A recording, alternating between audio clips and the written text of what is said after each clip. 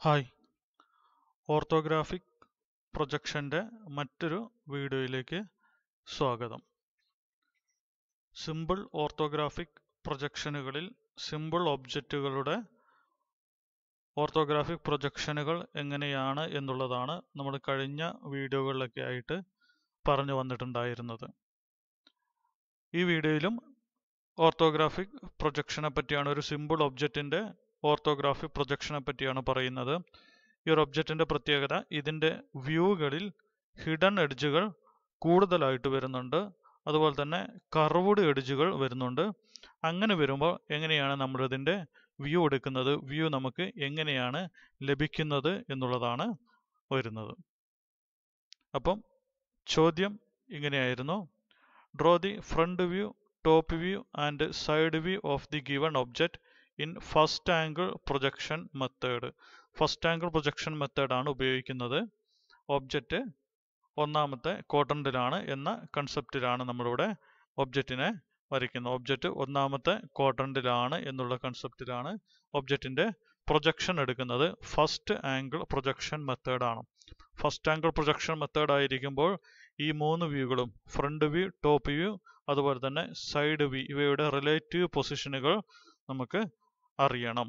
ഇപ്പോൾ relative position എന്ന് പറയുന്നത് ഫ്രണ്ട് വ്യൂ ടോപ്പ് വ്യൂവിന്റെ മുകളിലായിരിക്കും. ഫ്രണ്ട് വ്യൂ മുകളിലും ടോപ്പ് വ്യൂ താഴെയും അതുപോലെ തന്നെ ഇവിടെ ഫ്രണ്ട് സൈഡ് മാർക്ക് ചെയ്ത് തന്നിട്ടുള്ളത് ഐസോമെട്രിക് ലെഫ്റ്റിലാണ് ഫ്രണ്ട് സൈഡ് മാർക്ക് ചെയ്തിട്ടുള്ളത്. അതുകൊണ്ട് സൈഡ് എടുക്കേണ്ടത് റൈറ്റ് സൈഡ് വ്യൂ ആണ്. ഐസോമെട്രിക് റൈറ്റ് ആണ് സൈഡ് വ്യൂ ആക്കിയിട്ട് നമുക്ക് എടുക്കേണ്ടത്. സൈഡായിട്ട് എടുക്കേണ്ടത്. ഐസോമെട്രിക് റൈറ്റ് ആണ് സൈഡായിട്ട് നമുക്കിവിടെ എടുക്കാൻ ഉള്ളത്. അപ്പോൾ റൈറ്റ് സൈഡ് വ്യൂ ആണ്. ഫസ്റ്റ് ആംഗിൾ പ്രൊജക്ഷൻ ആയതുകൊണ്ട് തന്നെ റൈറ്റ് സൈഡ് വ്യൂ ഫ്രണ്ട് വ്യൂവിന്റെ ലെഫ്റ്റ് സൈഡിലാണ് വരയ്ക്കേണ്ടത്. ഒബ്ജക്റ്റും അതിന്റെ വ്യൂകളും ഞാനിവിടെ വരച്ച് കാണിച്ചു തന്നിട്ടുണ്ട്. ഒബ്ജക്റ്റും അതിന്റെ വ്യൂകളും കാണിച്ചു തന്നിട്ടുണ്ട്. ഇതെങ്ങനെയാണ് ഈ വ്യൂകൾ നമുക്ക് ലഭിക്കുന്നത് എന്ന് നോക്കാം. അപ്പോൾ നമുക്ക് ആദ്യം ഒബ്ജക്റ്റിന്റെ ഡയമെൻഷൻസ് നോക്കാം. ഈ ഒബ്ജക്റ്റ് താഴെ ഒരു പ്ലേറ്റും ആ പ്ലേറ്റിന് അടിയിലായിട്ട് ഒരു ഗ്രൂവും ഉണ്ട്. ഏറ്റവും താഴെയായിട്ട് ഒരു പ്ലേറ്റ് ഉണ്ട്. അൻപത് ഇന്റു അൻപതിന്റെ അൻപത് മീറ്റർ അൻപത് മില്ലിമീറ്റർ സൈഡ് വരുന്ന ഒരു പ്ലേറ്റ് ആണുള്ളത്. അൻപത് മില്ലിമീറ്റർ നീളവും അൻപത് മില്ലിമീറ്റർ വീതിയുമുള്ള ഒരു പ്ലേറ്റ് ആണ്. ആ പ്ലേറ്റിന്റെ അടിവശത്ത് മുപ്പത് മില്ലിമീറ്റർ വിടുത്തിൽ ഒരു ഗ്രൂവ് കൊടുത്തിട്ടുണ്ട്. അതാണ് താഴെയുള്ള പ്ലേറ്റ് മുകളിൽ ഒരു ബ്ലോക്ക് കൊടുത്തിട്ടുണ്ട്. ആ ബ്ലോക്കിന്റെ സെന്ററിലൂടെ ഒരു ഹോൾ ഉണ്ടായിരുന്നു.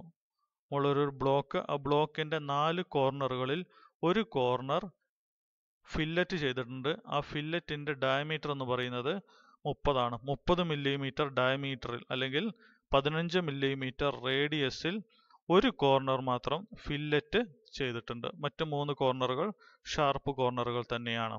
അപ്പം അതിന്റെ അകത്തുകൂടി ഒരു ഹോൾ കൊടുത്തിട്ടുണ്ട്. ഹോളിന്റെ ഡയമീറ്റർ ഇരുപത് മില്ലിമീറ്റർ ഇരുപത് മില്ലിമീറ്റർ ഡയമീറ്ററുള്ള ഒരു ഹോൾ ഉണ്ട്.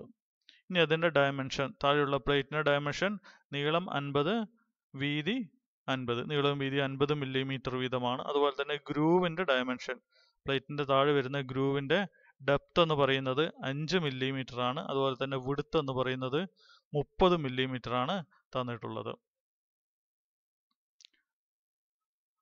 അതുപോലെ തന്നെ ഗ്രൂവിന്റെ ലെങ്ത്ത് അൻപത് മില്ലിമീറ്റർ ത്രൂ ഔട്ട് ഉണ്ട് അതുപോലെ തന്നെ മുകളിലുള്ള ബ്ലോക്കിന്റെ നീളം എന്ന് പറയുന്നത് നാൽപ്പത് മില്ലിമീറ്റർ ആണ് അതിന്റെ തിക്നെസ് പതിനഞ്ച് മില്ലിമീറ്റർ. ഹോളിന്റെ പൊസിഷൻ ഹോളിന്റെ പൊസിഷൻ. പ്ലേറ്റിന്റെ സർഫസിൽ നിന്നും ഇരുപത് മില്ലിമീറ്റർ മുകളിലും അതുപോലെ തന്നെ റൈറ്റ് എഡ്ജിൽ നിന്നും വലതുവശത്തെ എഡ്ജിൽ നിന്നും പതിനഞ്ച് മില്ലിമീറ്ററും ആയിട്ടാണ് ഹോളിന്റെ സെന്റർ വരുന്നത്. ഇവിടെ കർവിന്റെ റേഡിയസ് ഫില്ലറ്റ് ചെയ്തിരിക്കുന്ന റേഡിയസ് പതിനഞ്ച് മില്ലിമീറ്റർ തന്നിട്ടുണ്ട്. അപ്പോൾ നമുക്ക് എഡ്ജിൽ നിന്ന് പതിനഞ്ച് മില്ലിമീറ്റർ മാർക്ക് ചെയ്ത് കഴിഞ്ഞാൽ ഹോളിന്റെ സെന്ററാണ് നമുക്കവിടെ ലഭിക്കുന്നത്. ആ ഡയമെൻഷൻസ് തന്നിട്ടുണ്ട്. അതുപോലെ തന്നെ താഴെയുള്ള പ്ലേറ്റിന്റെ തിക്നെസ് പതിനഞ്ച് മില്ലിമീറ്റർ തുടങ്ങിയ കാര്യങ്ങൾ ഡയമെൻഷൻ ആയിട്ട് തന്നിട്ടുണ്ട്. അപ്പോൾ ഈ ഡയമെൻഷൻ വെച്ചുകൊണ്ട് ഫ്രണ്ട് വ്യൂ നമുക്ക് എടുക്കണം അപ്പോൾ ആരോ മാർക്ക് ചെയ്ത് തന്നിട്ടുണ്ട്.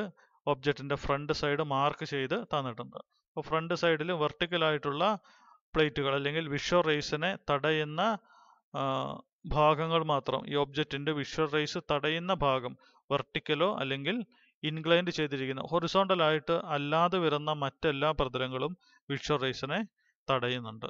അപ്പോൾ ഇവിടെ അങ്ങനെയുള്ള പ്രതലങ്ങൾ ഫ്രണ്ടിൽ ഒരു പ്രതലമുണ്ട്. അൻപത് ഇന്റു പതിനഞ്ചിന്റെ ഒരു പ്രതലം.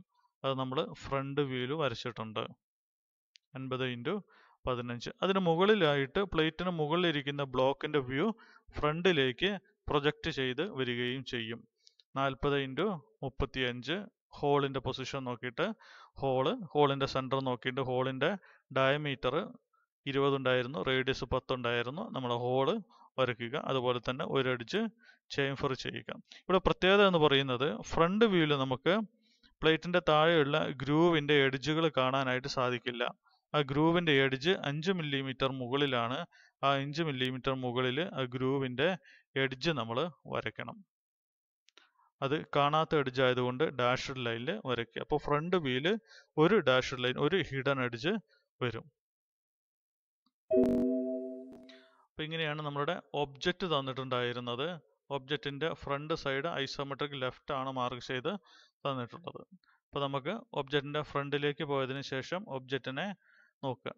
ഒബ്ജക്റ്റിന്റെ ഫ്രണ്ടിലേക്ക് പോയതിന് ശേഷം ഒബ്ജക്റ്റിനെ നോക്കിക്കഴിഞ്ഞാൽ നമുക്ക് ഈ ഒരു വ്യൂ ആയിരിക്കും നമുക്ക് ലഭിക്കുക. ഒബ്ജക്റ്റിന്റെ ഫ്രണ്ടിലേക്ക് പോയി ഒബ്ജക്റ്റിനെ നോക്കുക. അപ്പോൾ നമുക്ക് ഫ്രണ്ടിലുള്ള പ്രതലവും അതുപോലെ തന്നെ അതിന്റെ പുറകിൽ വരുന്ന ഇരുപത് മില്ലിമീറ്റർ പുറകിലായിരുന്നു ബ്ലോക്ക് ഉണ്ടായിരുന്നത്. ഈ ബ്ലോക്ക് ഇരുപത് മില്ലിമീറ്റർ പുറകിലാണുള്ളത്. പക്ഷേ ഫ്രണ്ട് വ്യൂ നമ്മൾ എടുത്തു കഴിയുമ്പം ആ ഇരുപത് മില്ലിമീറ്റർ പുറകുവശം നമുക്ക് അറിയാനായിട്ട് സാധിക്കില്ല. ഇരുപത് മില്ലിമീറ്റർ പുറകിലാണെന്ന് അറിയാനായിട്ട് സാധിക്കില്ല. താഴെ വരുന്ന പ്ലേറ്റിന്റെ തിക്നെസ് ഉണ്ട്. അതിന് തൊട്ട് മുകളിലായിട്ടാണ് മുകളിലുള്ള ബ്ലോക്ക് വരുന്നത്. അപ്പോൾ നമുക്കൊരു ടു ഡയമെൻഷൻ ഫിഗർ ആയിട്ട് കാണാം. ഇതിന്റെ ഡയമെൻഷൻസ് എല്ലാം ഒബ്ജക്റ്റിൽ മാർക്ക് ചെയ്തിട്ടുണ്ട്. ഡയമെൻഷൻസ് അതുപോലെ തന്നെ കറക്റ്റാക്കി എടുക്കുക. ഹോളിന്റെ സെന്ററും അതുപോലെ തന്നെ ചെയിൻഫറും ഇവിടെ ഹോൾ ആയിരിക്കുന്നത് കൊണ്ട് ഓപ്പോസിറ്റ് സൈഡ് നമുക്ക് ഫ്രണ്ട് വീൽ കാണാനായിട്ട് സാധിക്കുകയും ചെയ്യും. അതാണ് ഫ്രണ്ട് വ്യൂവിൽ കൊടുത്തിട്ടുള്ളത്. അതുപോലെ തന്നെ ഫ്രണ്ട് വ്യൂ എടുത്തു കഴിയുമ്പം ഈ ഒരു ഗ്രൂവ് ഉണ്ട്. ഒബ്ജക്റ്റിന്റെ താഴെ ഒരു ഗ്രൂവ് ഉണ്ട്. അഞ്ച് മില്ലിമീറ്റർ ഡെപ്ത് ഉള്ള ഒരു ഗ്രൂവ് ഉണ്ട് ഈ ഗ്രൂവ് ഈ ഗ്രൂവ് നമുക്ക് ഫ്രണ്ട് വ്യൂവിൽ കാണാനായിട്ട് സാധിക്കില്ല. പക്ഷെ നമുക്ക് കാര്യം അറിയാം. ആ ഫ്രണ്ട് ഫേസിന് പുറകിലായിട്ട് അങ്ങനെ ഒരു ഗ്രൂവ് ഉണ്ട് എന്ന് കാണാനായിട്ട് സാധിക്കും. ഫ്രണ്ട് ഫേസിന് പുറകിലായിട്ട് ഗ്രൂവ് ഉണ്ടെന്ന് കാണാനായിട്ട് നമുക്ക് അറിയാനായിട്ട് സാധിക്കും. നമ്മൾ ഐസോമെട്രിക് വ്യൂ തന്നിരിക്കുന്നത് കൊണ്ട് ആ ഗ്രൂവ് നമ്മൾ കണ്ടിട്ടുണ്ടായിരുന്നു. പക്ഷേ ഫ്രണ്ട് വ്യൂ എടുത്തു കഴിയുമ്പോൾ നമുക്ക് ഫ്രണ്ടിൽ ആ ഗ്രൂവ് കാണില്ല. അപ്പം ഈ രീതിയിലാണ് അഞ്ച് മില്ലിമീറ്റർ മുകളിലൊരു ലൈന് നമുക്ക് വരയ്ക്കേണ്ടതായിട്ടുണ്ട്. പക്ഷേ അത് ഒബ്ജക്റ്റിന്റെ എഡ്ജിന്റെ പുറകിലായിരിക്കുന്നത് കൊണ്ട് കാണുന്ന അല്ലെങ്കിൽ വിഷ്വറൈസിനെ തടയുന്ന എഡ്ജിന്റെ പുറകിലായിരിക്കുന്നത് കൊണ്ട് ആ എഡ്ജ് നമുക്ക് വിസിബിൾ എഡ്ജാക്കിക്കൊണ്ട് വരയ്ക്കാനായിട്ട് സാധിക്കില്ല. അതായത് കണ്ടിന്യൂസ് തിക്ക് ലൈനിൽ നമുക്കത് വരയ്ക്കാനായിട്ട് സാധിക്കില്ല. അപ്പം ഫേസിന് പുറകിൽ വരുന്ന എഡ്ജുകളെ നമ്മൾ തീർച്ചയായിട്ടും റെപ്രസെന്റ് ചെയ്യണം. പക്ഷേ അത് ഹിഡൻ എഡ്ജുകളായിരിക്കുന്നത് കൊണ്ട് അതിനെ ഡാഷ്ഡ് ലൈനിൽ റെപ്രസെന്റ് ചെയ്യണം. അതാണ് നമ്മൾ ഫ്രണ്ട് വ്യൂവിൽ റെപ്രസെന്റ് ചെയ്തിട്ടുള്ളത്. ഫ്രണ്ട് വ്യൂവിൽ താഴെ നിന്ന് ഒബ്ജക്റ്റിന്റെ പ്ലേറ്റിന്റെ താഴെ നിന്നും അഞ്ച് മില്ലിമീറ്റർ മുകളിലായിട്ട് ഡാഷ് ലൈന് വരച്ചിട്ടുണ്ട്. അപ്പോൾ നമ്മുടെ പുറകിലുണ്ടായിരുന്ന ഫ്രണ്ട് ഫേസിന് പുറകിലുണ്ടായിരുന്ന എഡ്ജിനെ റെപ്രസെന്റ് ചെയ്തു. അപ്പോൾ ഫ്രണ്ട് വ്യൂവിൽ ഈ ഒരു എഡ്ജ് മാത്രമാണ് ഹിഡൻ എഡ്ജായിട്ട് വരുന്നത്. അപ്പോൾ അതിന്റെ വ്യൂ വരയ്ക്കുക അതിന്റെ ഡയമെൻഷൻ ചെയ്യുക. അതുപോലെ തന്നെ ടോപ്പ് വ്യൂ ഫ്രണ്ട് വ്യൂവിൽ നിന്ന് നേരെ മുകളിലേക്ക് പോയി താഴേക്ക് നോക്കിക്കഴിഞ്ഞാൽ ഈ പ്ലേറ്റിന്റെ തിക്നെസ് മുഴുവനായിട്ട് കാണാനായിട്ട് സാധിക്കും. അൻപത് ഇന്റു അൻപതിൽ വരുന്ന പ്ലേറ്റ് മുഴുവനായിട്ട് പ്ലേറ്റിന്റെ ഏരിയ മുഴുവനായിട്ട് കാണാം. അതുപോലെ തന്നെ മുകളിലുള്ള ബ്ലോക്കിന്റെ ടോപ്പിൽ നിന്ന് താഴേക്ക് നോക്കിക്കഴിഞ്ഞാൽ കാണുന്ന ഒരു റെക്റ്റാങ്കിൾ നമുക്ക് കാണാനായിട്ട് സാധിക്കും. പ്ലേറ്റ് പ്ലേറ്റിന്റെ മുകളിലുള്ള സർഫസ് അത് അൻപത് മില്ലിമീറ്റർ നീളവും അൻപത് മില്ലിമീറ്റർ വീതിയുമുള്ളതാണ്. അൻപത് ഇന്റു അൻപത്. അതുപോലെ തന്നെ മുകളിൽ നിന്നും താഴേക്ക് നോക്കുമ്പോൾ മുകളിൽ കുത്തനെ വെച്ചിട്ടുള്ള ബ്ലോക്കിന്റെ മുകളിലുള്ള സർഫസ് മാത്രം നമുക്ക് കാണാനായിട്ട് സാധിക്കും. സർഫസിന്റെ എഡ്ജ് കറുവാണെങ്കിലും നമുക്ക് ടു ഡയമെൻഷണൽ വ്യൂ ആണ് ലഭിക്കുക എന്നുള്ളത് കൊണ്ട് അതവിടെ കറുവായിട്ട് നമുക്ക് ഓർത്തോഗ്രാഫി പ്രൊജക്ഷൻ കറുവായിട്ട് നമുക്ക് അനുഭവപ്പെടില്ല. ആ ഒബ്ജക്റ്റിന്റെ എഡ്ജ് പ്രൊജക്റ്റ് ചെയ്ത് മുകളിലേക്ക് വന്ന് അതൊരു റെക്റ്റാങ്കിൾ ആയിട്ട് കാണുകയും ചെയ്യും. ആ സർഫസിന് താഴെയായിട്ട് ഹോൾ ഉണ്ടായിരുന്നു. ഹോളിനെ റെപ്രസെന്റ് ചെയ്യാൻ വേണ്ടി ഹോളിന്റെ സെന്റർ ഡയമെൻഷൻ എടുത്ത് സെന്റർ ലൈൻ വരയ്ക്കുക. ചെയിൻ തിൻ ലൈൻ വരച്ചുകൊണ്ട് സെന്റർ ലൈൻ വരയ്ക്കുക. അതുപോലെ തന്നെ ഹോളിന്റെ രണ്ട് എഡ്ജുകൾ സെൻട്രൽ നിന്നും റേഡിയസ് വലതുവശത്തേക്കും റേഡിയസ് ഇടതുവശത്തേക്കും എടുത്തുകൊണ്ട് ഇവിടെ ഹോളിന്റെ ഡയമീറ്റർ ഇരുപതായിരുന്നു. അപ്പോൾ റേഡിയസ് പത്താണ്. സെന്റർ മാർക്ക് ചെയ്യുക. വലതുവശത്തേക്ക് പത്ത് മില്ലിമീറ്റർ ഇടതുവശത്തേക്കും പത്ത് മില്ലിമീറ്റർ റേഡിയസ് വീതം ഡയമീറ്റർ ഇരുപതായി എടുത്തുകൊണ്ട് ഡാഷ്ഡ് ലൈൻ വരച്ച് ഹോളിനെ റെപ്രസെന്റ് ചെയ്യുക. ഇങ്ങനെയാണ് നമ്മൾ ഹോളിനെ റെപ്രസെന്റ് ചെയ്യുന്നത്. അതിന് നമ്മൾ സെൻട്രൽ ലൈൻ തീർച്ചയായിട്ടും വരയ്ക്കണം. ആ ഹോളിന്റെ ഡയമെൻഷനിൽ നിന്നും കുറച്ച് വെളിയിലേക്ക് എടുത്തുകൊണ്ട് സെൻട്രൽ ലൈൻ വരയ്ക്കുക. ഹോളിന്റെ ഡയമെൻഷൻ എക്സാക്റ്റ് ആയിട്ട് എത്രത്തോളമാണോ ഹോളിന്റെ നീളമുള്ളത് അല്ലെങ്കിൽ ഡെപ്ത് ഉള്ളത് അത്രത്തോളം വരയ്ക്കുക. അത് ഹിഡൻ അഡ്ജായിരിക്കുന്നത് കൊണ്ട് ഡാഷ്ഡ് ലൈൻ വരയ്ക്കുക. അതുപോലെ തന്നെ ഏറ്റവും താഴെ പ്ലേറ്റിന് താഴെയായിട്ട് വരുന്ന ഗ്രൂവിന്റെ രണ്ട് എഡ്ജുകളും ഇപ്പോൾ ടോപ്പ് വ്യൂവിൽ അറിയാനായിട്ട് സാധിക്കും. മുപ്പത് മില്ലിമീറ്റർ ഗ്യാപ്പിൽ വരുന്ന രണ്ട് എഡ്ജുകൾ ആ രണ്ട് എൻഡിൽ നിന്നും ഉള്ള ദൂരം പത്ത് മില്ലിമീറ്റർ പത്ത് മില്ലിമീറ്റർ രണ്ട് എൻഡിൽ നിന്നും പത്ത് മില്ലിമീറ്റർ എടുത്തുകൊണ്ട് ഡാഷ്ഡ് ലൈനിൽ ടോപ്പ് വ്യൂവും വരയ്ക്കുക. ഇപ്പോൾ ടോപ്പ് വ്യൂ എങ്ങനെയാണ്? എടുക്കുന്നത് നോക്കാം. നമുക്ക് ഫ്രണ്ട് ഇവിടെയാണ് മാർക്ക് ചെയ്ത് തന്നിട്ടുണ്ടായിരുന്നത്. അപ്പോൾ ആ ഫ്രണ്ട് സൈഡിലേക്ക് വന്നതിന് ശേഷം വേണം നമ്മൾ ടോപ്പ് വ്യൂ എടുക്കുന്നതിന് വേണ്ടിയിട്ട്. ടോപ്പ് വ്യൂ എടുക്കുമ്പോൾ നമുക്ക് ഇങ്ങനെ ഒരു വ്യൂ ആണ് ലഭിക്കുക. താഴെയുള്ള പ്ലേറ്റ് അൻപത് ഇന്റു അൻപതിന്റെ ഒരു അൻപത് ഇന്റു അൻപതിന്റെ പ്ലേറ്റ് മുഴുവനായിട്ട് കാണാനായിട്ട് സാധിക്കും. അതുപോലെ തന്നെ ഒരു റെക്റ്റാങ്കിൾ അതിന്റെ നടുക്കായിട്ടൊരു റെക്റ്റാങ്കിൾ ഈ ലെഫ്റ്റ് സൈഡിൽ നിന്നും ഇരുപത് മില്ലിമീറ്ററും റൈറ്റ് സൈഡിൽ നിന്നും പതിനഞ്ച് മില്ലിമീറ്ററും അകലത്തിലായിട്ട് ഒരു റെക്റ്റാങ്കിൾ നമുക്ക് കാണാനായിട്ട് സാധിക്കും. അപ്പോൾ ഈ ടോപ്പ് വ്യൂവിൽ നമുക്ക് ഈ നീല കളറിൽ കാണുന്ന ബ്ലോക്കിന്റെ മുകൾ വശം റെക്റ്റാങ്കിൾ ചതുരമായിട്ടാണ് നമുക്ക് കാണാനായിട്ട് സാധിക്കുക. വാസ്തവത്തിൽ അത് ചതുരമായിരുന്നില്ല. ഐസോമെട്രിക്കിൽ ഇവിടെ ഒരു കർവ് ആയിരുന്നു.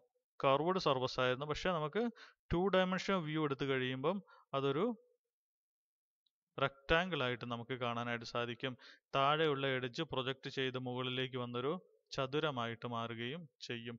അതുപോലെ തന്നെ ആ ഫേസിന് അകത്തായിട്ട് താഴെയായിട്ട് ഹോൾ ഉണ്ടായിരുന്നു. ഹോളിനെ റെപ്രസെന്റ് ചെയ്യാൻ ഹോളിന്റെ സെന്ററിലേക്കുള്ള ദൂരം എടുത്തിട്ട് സെന്റർ ലൈൻ വരയ്ക്കണം. അതുപോലെ തന്നെ ഹോളിന്റെ ഡയമീറ്റർ എടുത്തുകൊണ്ട് ഇരുവശങ്ങളിലേക്കും ഡയമീറ്ററിന്റെ പകുതി വീതം മാർക്ക് ചെയ്തുകൊണ്ട്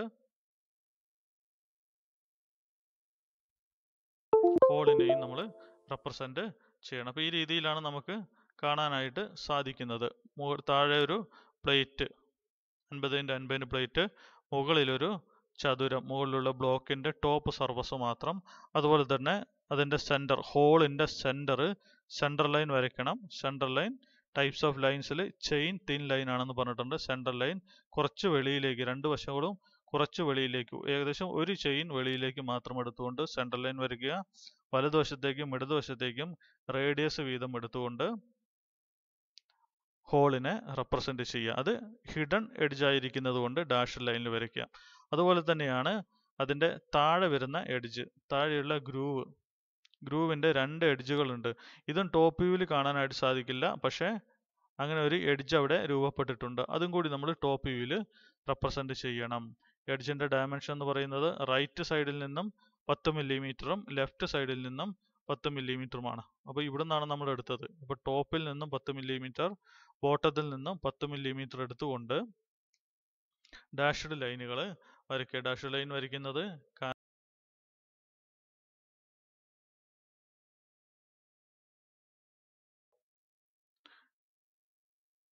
ഹിഡൻ എഡ്ജുകൾ ആയിരിക്കുന്നത് കൊണ്ടാണ് ഡാഷ്ഡ് ലൈന് വരയ്ക്കുന്നത്. അപ്പം ഇങ്ങനെയാണ് നമുക്ക് കാണാനായിട്ട് സാധിക്കുന്നത്. അപ്പോൾ ഈ സർഫസുകളുടെ താഴെയാണ് മറ്റ് എഡ്ജുകൾ സർഫസുകളുടെ എഡ്ജുകൾ വന്നിരിക്ക വന്നിട്ടുണ്ടായിരുന്നത്. അതുകൊണ്ട് അവയെ ഡാഷ്ഡ് ലൈനിൽ റെപ്രസെന്റ് ചെയ്യുക. അപ്പോൾ അതാണ് ടോപ്പ് വ്യൂ എന്ന് പറയുന്നത്. ഇനി നമുക്കതിന്റെ side view right side view ആണ് ഉള്ളത്. അപ്പോൾ റൈറ്റ് സൈഡ് വ്യൂ ഫ്രണ്ട് വ്യൂവിന്റെ ലെഫ്റ്റ് സൈഡിലാണ് വരയ്ക്കേണ്ടത്. റൈറ്റ് സൈഡിൽ നമ്മൾ നോക്കിക്കഴിഞ്ഞാൽ റൈറ്റ് സൈഡിൽ വരുന്ന പ്ലേറ്റിന്റെ ഡയമെൻഷൻസ് പ്ലേറ്റിന്റെ ഡയമെൻഷൻ അത് നമുക്ക് കാണാനായിട്ട് സാധിക്കും. പ്ലേറ്റിന്റെ എഡ്ജുകൾ ഡയമെൻഷൻ കറക്റ്റ് എടുത്തുകൊണ്ട് ടു ഡയമെൻഷനിൽ വരയ്ക്കുക. അതുപോലെ തന്നെ മുകളിലുള്ള ബ്ലോക്കിന്റെ ഒരു എഡ്ജ് ഒരു റെക്റ്റാങ്കിൾ ആയിട്ട് നമുക്ക് അവിടെ കാണാനായിട്ട് സാധിക്കും. ഒരു റെക്റ്റാങ്കിൾ ആയിട്ട് കാണാനായിട്ട് സാധിക്കും. ആ ഫ്രണ്ട് ഫേസിന് പുറകിലായിട്ട് ഹോൾ ഉണ്ട് ഹോളിന്റെ സെന്റർ മുകളിൽ നിന്നും പതിനഞ്ച് മില്ലിമീറ്റർ ആണ് കാരണം ഇവിടെ ചൈംഫറിന്റെ ഡയമീറ്റർ മുപ്പത് റേഡിയസ് പതിനഞ്ച് മാർക്ക് ചെയ്തിട്ടുണ്ട്. ആ പതിനഞ്ച് മില്ലിമീറ്റർ ആണ് സെന്ററിലേക്കുള്ള ദൂരം. മുകളിൽ നിന്ന് പതിനഞ്ച് മില്ലിമീറ്റർ താഴേക്ക് മാർക്ക് ചെയ്ത് സെൻട്രൽ ലൈൻ മാർക്ക് ചെയ്ത് റേഡിയസ് മുകളിലേക്കും താഴേക്കും എടുത്തുകൊണ്ട് ഇരുവശങ്ങളിലേക്കും എടുത്തുകൊണ്ട് അതിന്റെ എഡ്ജുകൾ റെപ്രസെന്റ് ചെയ്യുക. ഇവിടെ റൈറ്റ് സൈഡ് വ്യൂവിലും ഒരു ഒബ്ജക്റ്റിന്റെ ഒരു ഫീച്ചറിന്റെ എഡ്ജുകൾ മാത്രമാണ് ഹിഡൻ എഡ്ജുകളായിട്ട് വരുന്നത്. ഇവിടെ നമ്മൾ ടോപ്പ് വ്യൂ എടുത്തു കഴിയുമ്പോൾ രണ്ട് ഫീച്ചറുകളുടെ ഹിഡൻ എഡ്ജുകൾ ഉണ്ടായിരുന്നു. ഫ്രണ്ട് വ്യൂവിൽ ഒരു ഫീച്ചറിന്റെ ടോപ്പ് വ്യൂവിൽ രണ്ട് ഫീച്ചറിന്റെ സൈഡ് വ്യൂവിൽ ഒരു ഫീച്ചറിന്റെ ഹിഡൻ എഡ്ജുകൾ വരയ്ക്കണം. ആ സൈഡ് വ്യൂ കൂടി എങ്ങനെയാണ് ഉള്ളത് എന്ന് നോക്കാം. അപ്പോൾ റൈറ്റ് സൈഡ് വ്യൂ ആണ് എടുക്കേണ്ടത്. അപ്പോൾ റൈറ്റ് സൈഡിലേക്ക് വന്നു റൈറ്റ് സൈഡ് വ്യൂ എടുക്കുക. റൈറ്റ് സൈഡിലേക്ക് വന്ന് റൈറ്റ് സൈഡ് വ്യൂ എടുത്തു കഴിഞ്ഞാൽ നമുക്ക് ഇങ്ങനെയാണ് കാണാനായിട്ട് സാധിക്കുക. ഒരു ടു ഡയമെൻഷണൽ ഒബ്ജക്റ്റ് ആണ് ശരിക്കും നമുക്ക് കാണാനായിട്ട് സാധിക്കുക. റൈറ്റ് സൈഡിലേക്ക് വന്നു കഴിഞ്ഞാൽ ഒരു ടു ഡയമെൻഷണൽ ഒബ്ജക്റ്റ് ആണ് കാണാം മുകളിൽ ഒരു ചതുരമാണ് വരുന്നത്. അപ്പോൾ ചതുരം നമുക്ക് കാണാനായിട്ട് സാധിക്കും. ആ ഫ്രണ്ട് ഫേസിന് പുറകിലായിട്ട് ഹോൾ ഉണ്ടായിരുന്നു. ഹോളിന്റെ സെന്റർ മാർക്ക് ചെയ്ത് ഹോളിന്റെ ഡയമെൻഷൻസ് മാർക്ക് ചെയ്യുക. മറ്റ് ഹിഡൻ എഡ്ജുകളൊന്നും റൈറ്റ് സൈഡ് വ്യൂയിൽ കാണാനായിട്ട് സാധിക്കില്ല. അപ്പോൾ ഇങ്ങനെയാണ് നമുക്ക് ലഭിക്കുന്ന ഒരു ഓബ്ജക്റ്റിന്റെ വ്യൂകൾ നമ്മൾ എടുക്കേണ്ടത്. ഇതാണ് തന്നിട്ടുള്ള ഒബ്ജക്റ്റിന്റെ ഓർത്തോഗ്രാഫിക് പ്രൊജക്ഷൻ എന്ന് പറയുന്നത്. അപ്പോൾ ഈ ഓർത്തോഗ്രാഫിക് പ്രൊജക്ഷൻ ഏത് ആംഗിൾ പ്രൊജക്ഷൻ ആണ് തന്നിട്ടുള്ളത് ആ മെത്തേഡിൽ ഓർത്തോഗ്രാഫിക് പ്രൊജക്ഷൻ വരയ്ക്കുക. ഫസ്റ്റ് ആംഗിൾ പ്രൊജക്ഷൻ ആണ് തന്നത്. ഫസ്റ്റ് ആംഗിൾ പ്രൊജക്ഷനിൽ വരയ്ക്കുക. ഒബ്ജക്റ്റിനെ സ്പേസ് ചെയ്തു ഫ്രണ്ട് വ്യൂ മുകളിലും ടോപ്പ് വ്യൂ താഴെയും റൈറ്റ് സൈഡ് വ്യൂ ലെഫ്റ്റ് സൈഡിലുമായിട്ട് വരച്ചു. വരച്ചു കഴിഞ്ഞാൽ ഡയമെൻഷൻ നൽകണം. എല്ലാ ഭാഗങ്ങൾക്കും ഡയമെൻഷൻ നൽകണം. എല്ലാ ഭാഗങ്ങൾക്കും ഡയമെൻഷൻ ചെയ്യുകയും വേണം. ഡയമെൻഷൻ റിപ്പീറ്റ് ചെയ്ത് നൽകാതിരിക്കുകയും ചെയ്യുക. അതിനുശേഷം താഴെയായിട്ട് സിമ്പിൾ വരയ്ക്കണം.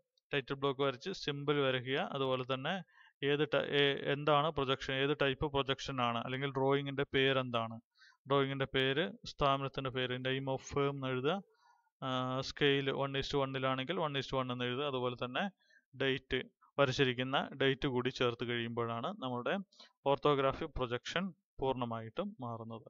അപ്പോൾ ഈ മൂന്ന് വ്യൂകളാണ് ആൻസർ എന്ന് പറയുന്നത്. മൂന്ന് വ്യൂകൾ ഈ മൂന്ന് വ്യൂകൾ അതായത് front view top view side view answer ആയിട്ട് വരിക. ആ വ്യൂകൾക്ക് താഴെയായിട്ട് ഈ ടൈറ്റിൽ ബ്ലോക്ക് വരയ്ക്കുക. അപ്പോൾ അത്രയും വരച്ചു കഴിയുമ്പം ഓർത്തോഗ്രാഫി പ്രൊജക്ഷൻ തന്നിട്ടുള്ള ഒബ്ജക്റ്റിന്റെ ഓർത്തോഗ്രാഫി പ്രൊജക്ഷൻ പൂർണമാവുകയും ചെയ്യും.